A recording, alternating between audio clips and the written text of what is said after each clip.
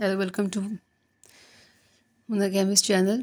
I hope so कि आप सब ठीक ठाक होंगे। स्टूडेंट्स क्या हाल है आप सबका? आजकल तो एग्ज़ाम्स हो रहे हैं स्टूडेंट्स के तो लिहाजा सबकी तैयारी का जो पर्पज़ है वो आपके सामने ही है कि आपने अच्छे तरीके से जो है वो तैयारी करनी है, अच्छे नंबर लेने हैं।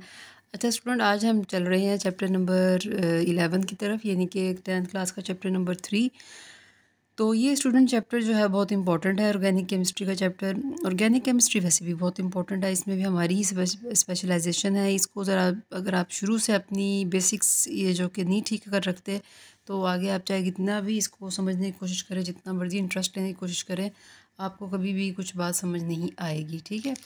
तो एक तो ये बात, इसलिए इसको जब भी तैयार करें, सबसे पहले इसमें अपने कॉन्सेप्ट क्लियर करें। कॉन्सेप्ट क्लियर होंगे तो आपको ऑटोमेटिकली इसकी जो बेसिक्स हैं वो भी समझ आएँगी। अच्छा स्टूडेंट ऑर्गेनिक केमिस्ट्री का जो चैप्टर है आ, मैंने आ, जैसे मैं हर बार यही कहती हूँ कि हम डायरेक्ट पहले एक्सरसाइज की तरफ़ मूव करते हैं। अच्छा एक ये बात ये ना समझिएगा कि मैं अगर डायरेक्ट ही एक्सरसाइज की तरफ़ ले जाती हूँ तो उसका मतलब है कि अंदर चैप्टर में कुछ नहीं है वही बस तैयार करना है।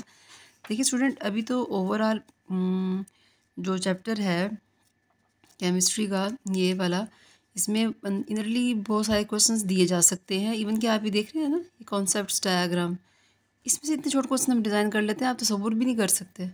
तो इसीलिए ना, आपको पढ़ना सब कुछ ही होता है, लेकिन ये मैं आपको ओवरऑल एक इंपॉर्टेंट गैस के तौर पे जो है ना, सिर्फ़ एक्सरसाइज की तरफ़ लेकर जाती हूँ। अब आप ये देख सकते हैं।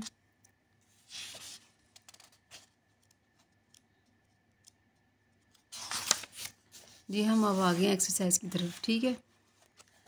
एक्सरसाइज में जितने एम सी क्यूज़ हैं एज़ यूजल जैसे मैं हमेशा कहती हूँ एक्सरसाइज के एक भी एम सी क्यूज़ को आपने ऐसे नहीं रखना कि भाई ये आता या भूल गया या सम, भूल समझ नहीं आ रही या देखा नहीं था। इसका each and every M C Qs you should know the answer ये ये तो कंफर्म है कि एक एम सी क्यूज़ बनना है इसमें से। इसमें कोई शक नहीं एक बने दो बने पर देने हमने इनमें से ठीक है? तो इसको तो आपने अपने हाथ से जो है ना, अच्छे तरीके से मेमोराइज़ कर लेना इसके twenty three M C Qs हैं, ये आप देख सकते हैं और ये सारे के सारे करने हैं। अब हम आ जाते हैं शॉर्ट क्वेश्चंस की तरफ़। शॉर्ट क्वेश्चंस इसके बहुत इंपॉर्टेंट है। अव्वल तो मैं इसके शॉर्ट क्वेश्चन हमेशा स्टूडेंट कहती हूँ कि सारे याद करें। कोई भी मत छोड़े, ठीक है? क्योंकि ये हमने देने हैं। लेकिन चलें, अब आपकी आसानी के लिए थोड़ा सा मैं ये कर देती हूँ कि क्वेश्चन नंबर वन बहुत इंपॉर्टेंट है। ठीक हो गया?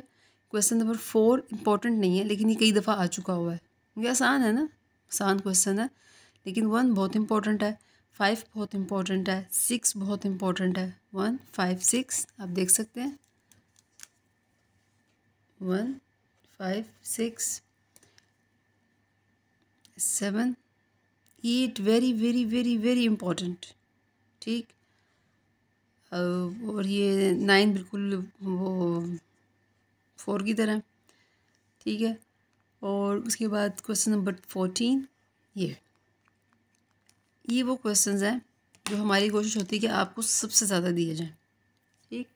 इनको तो आपने अपने टिप पे रखना, बाकी भी याद कीजिएगा, लेकिन इनको आपने क्या रखना है, टिप पे। आप पेपर देख सकते हैं वैसे क्वेश्चन लाजमी आया होगा।